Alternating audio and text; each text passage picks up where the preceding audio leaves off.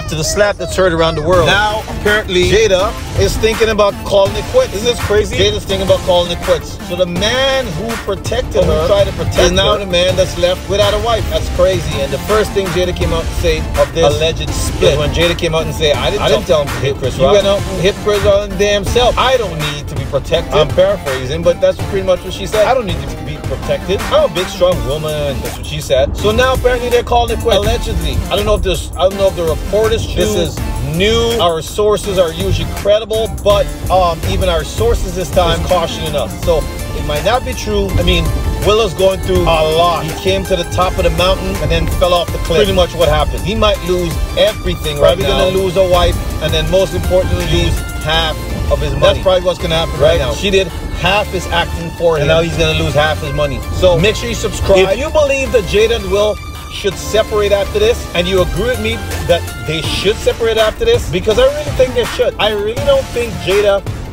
is a good woman at all. If you agree with me, subscribe. If you don't agree with me, don't and I've subscribe. given many reasons why I don't believe they should be together. That's just my opinion. Jada is a very, very, very bad She's person. not the person for Will. She's too controlling, manipulative. And most importantly, she made the man lose his whole career. Will will never come back. He might this. probably have to do an Oprah special to be redeemed. But to be honest, I don't see any coming back from this.